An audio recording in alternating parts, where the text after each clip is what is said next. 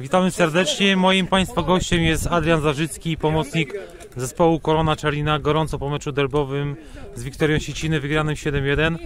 Strzelec pierwszego gola. Przede wszystkim gratulacje z okazji urodzenia się syna. Widzieliśmy tą piękną kołyskę. Prosimy o parę słów podsumowania meczu. Y, Mecz ciężki, ciężkie boisko przede wszystkim. Spodziewaliśmy się trudnych warunków tutaj, jak co mecz, co przyjeżdżamy tutaj, bardzo trudny teren. Mecz w pierwszej połowie nie układał się tak jak chcieliśmy, dużo niewykorzystanych sytuacji. Strzeliłem pierwszą bramkę na 1-0, później poszło, wygraliśmy 7-1. Do tej pory czekamy na wynik z przedmościa, na razie mamy lidera.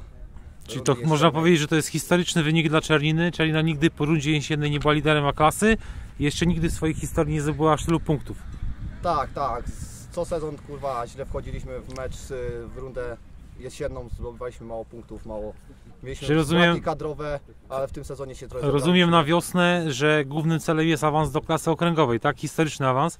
Zdecydowanie, jeżeli nam się uda wygrać tę ligę, no to jest- zjedziemy do, po awans i do okręgówki. Dobra, dziękuję bardzo. Moim Państwa gościem był Adrian Zarzycki, Dziękuję pomocnik bardzo. Korony Czarnina.